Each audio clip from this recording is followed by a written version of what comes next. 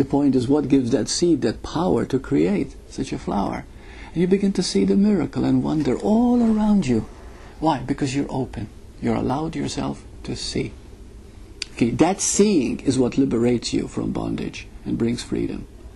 Because you begin to see that everything that you thought was real about you is made up of facades, veneers, put ons, so social uh, protocols, uh, ideas, how things should be. You see? You begin to see everything is just a play. And this begins to drop. And that's how there's the flowering. You see?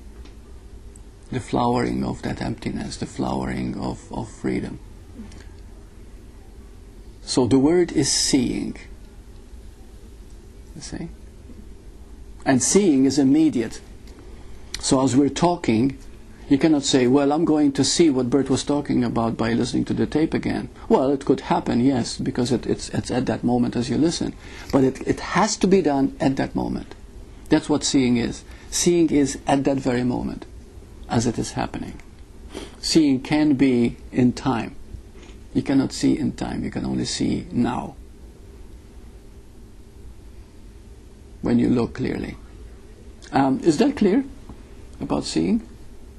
Seeing is the only thing you can do. You cannot do anything. is seeing uh, awareness or awareness realizing even though there's not a realizer but it's like knowing knowing without knowing what you know if I don't know how to say that being uh, being aware Be aware, okay? is that is that the same as seeing being aware Um, yes, yes, and no. Um, it- it's semantics here. Uh, you can be aware of something. I'm aware that the chair is there. right But to see the chair, to see it, then it takes it takes on. Why do we call it a chair? Immediately, the moment you hear the word chair, you have a oh, there's a structure where where I sit for comfort, and it's made up. But really, look at it. It's just a jumble of little things that we put together, right? direct experience of God to God Yeah, it's it's it's yeah. You're you're looking at things as they really are, which of course takes on a completely new new way of seeing. And in seeing, there is one thing that happens. In seeing, you see how little you see all the time, because there's more and more and more, and it's so vast, and it's all unknowable. And that's so you're plunging into the unknown all the time. It's taking you deeper and deeper into your true nature, which of course going deeper does not mean going, you know, we think in terms going deeper someplace. Going deeper means becoming more and more who you are. Your natural self, your fundamental natural self. So you're talking about seeing the same as observing, to observe.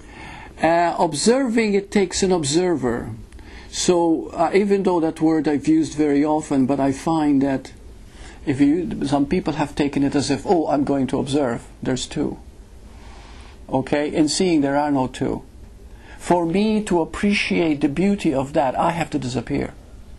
As long as I'm, I think I'm seeing it, then I'm going back as a botanist and say, well, it's a lily, well, it's this, well, it's that. My mind takes over. But to really see it, the mind has to go. So seeing is one. You see, whereas an observer takes, you know, the observer and an observed. So when I used to say observe your thoughts, many people have misunderstood, and I got so many emails and people said, but when I observe my thoughts, you see, they still don't go away, and this happens, and that happens. They're still creating a duality. So I realized, no, the word seeing is perfect. And th- there's no seer, there's just seeing. And that means that when you look at it, you're not looking at it with your own agenda, you're not looking at it with your own thoughts or with your likes and dislikes or good or bad. You just see it. And then you begin to see it's, it's, it's, uh, it's magic, it's power. You see? What created that? I mean, what, what, what creates anything of nature? It's just there. So even awe has a quality. So seeing in It's qualityless. the is quality less like Yeah. So it's the it's the freedom to um, to see and have and everything else is is is um, just passes through the container. I don't know Yes, yes, yeah, yeah, yeah, yeah. You become pure seeing. See, I've noticed sometimes, even in satsang here, you know, I've seen some people, they listen so well that they disappear in their seeing. And then they say, Oh, I had a beautiful feeling, I had a high feeling, I had this. Because it's not the words that do it, it's your, it's your listening when there is no listener. So when, there, when listening becomes complete, as if you disappear, you see, then there is that, that feeling automatically comes. And this is what happens with seeing. Seeing automatically is an upliftment. It's automatic. You see, it raises you. It raises your vibrations tremendously.